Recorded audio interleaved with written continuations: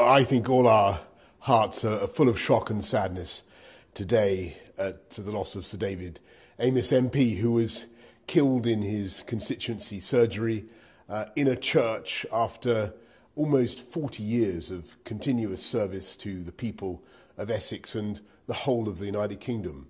And the reason I think people are so shocked and saddened is, above all, he was one of the kindest, nicest, most gentle people in politics. And he also had an outstanding record of passing laws to help the most vulnerable, whether the people who are suffering from endometriosis, uh, passing laws to uh, end cruelty to animals, or doing a huge amount to reduce uh, the fuel poverty suffered by people uh, up and, up and down the country.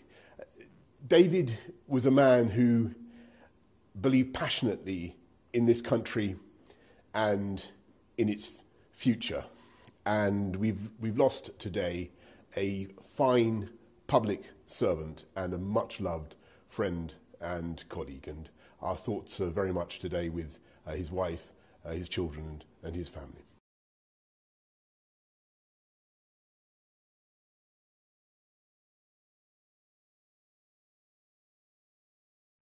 Thanks for watching Bloomberg Quicktake Now. Subscribe to our channel to see the biggest stories the moment they happen from around the world. And tune in to our 24 7 live stream for global news coverage, interviews, deep dives, shows, and documentaries on the stories you care about most.